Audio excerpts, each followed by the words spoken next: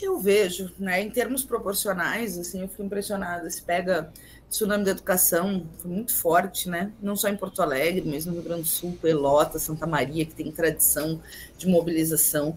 O Ele Não teve mobilização em várias cidades. A minha, eu sou natural do Alegrete, pouca gente sabe, eu sou natural da fronteira oeste. Comecei a militar lá, né? Quando dizia, ah, mas tu é brava, eu disse, é, sou lá da fronteira oeste. sou brava mesmo. Uh, Bagé, enfim, tiveram mobilizações e tal. Muitas vezes isso não se reverte né, automaticamente, enfim, num, numa questão de vencer eleições, embora tenha uh, espaço social, tem um grupo de esquerda, cidades que tem muito grupo de esquerda, mas a gente já viu experiências muito interessantes no Rio Grande do Sul históricas, né? Legalidade, foi porque o povo se organizou junto com o governo para enfrentar e, e, garantir a posse do João Goulart com o Brizola. É incrível a história da legalidade, uma história que vale a pena estudar. Depois, como tu bem falaste, Fórum Social Mundial, orçamento participativo lá no início, quando Erundina se elegeu, etc. Também se elegeu Olívio aqui, que não era o preferido nas pesquisas, que também superou no Vale, tinha um vereador, o PT fez um vereador naquela época, e o prefeito, né, e, começou ali grandes mudanças e tal. É, bom, e aí depois nós tivemos interregnos, digamos, né, tivemos uh, governos de direita do ponto de vista uh, desde 2004 na prefeitura de Porto Alegre, mas ainda com, enfim, Marquesan, neoliberalismo puro, e Melo, uh, neoliberalismo puro com, uh, com bolsonarismo, né? Porque o bolsonarismo faz parte da prefeitura do Melo. O Bolsonaro veio aqui levantar a mão do Melo. O PL está com o Melo. Então tu tem um sucateamento, uma destruturação da cidade, uma, assim, uma combinação, né, de uma visão de uma prefeitura de especulação e uh, de uma eh, de uma guarida para esses grupos, né, da extrema direita.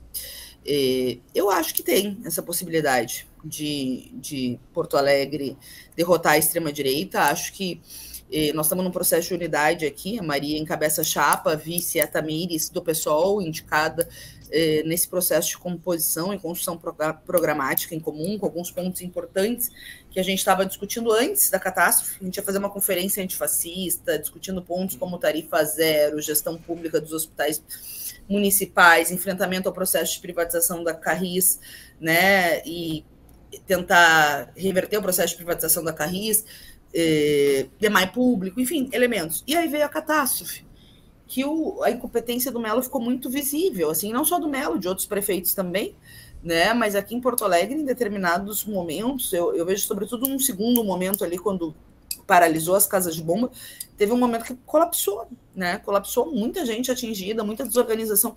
Então, ele chegou ao cúmulo da empresa privada, com o voto do Mello, aliás, que era deputado estadual, porque né, foi privatizada durante a pandemia pelo governo Eduardo Leite, desligar uma estação, eh, porque sim, tinha risco de curto-circuito, só que não avisou o prefeito. E dois bairros enormes tiveram que esvaziar em questão de horas. É um negócio assim. Parecia que a cidade não tinha comando, né?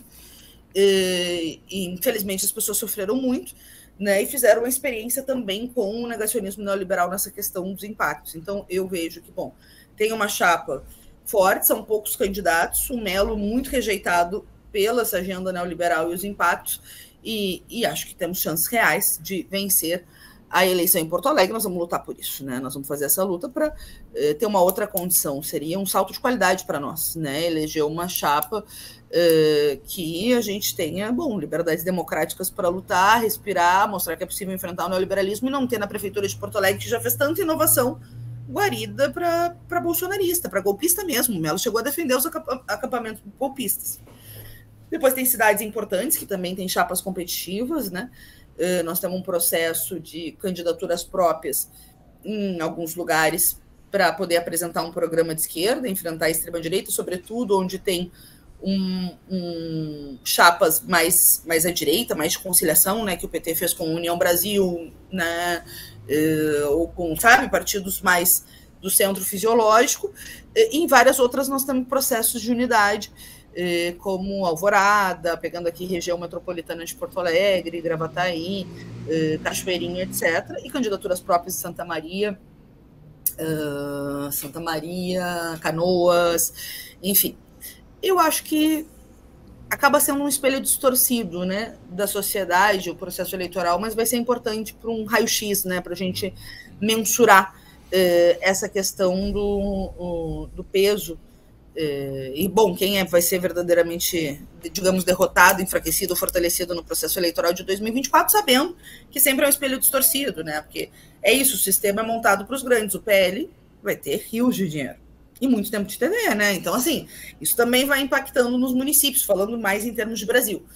Mas, enfim, estou empolgada para fazer campanha, na luta aqui para eleger Maria Itamires. Quando puder começar a pedir votos, vamos começar a pedir votos, mas já participando dos atos, dos movimentos, acompanhando o processo programático para dar nossa contribuição na luta política para derrotar a extrema-direita em Porto Alegre.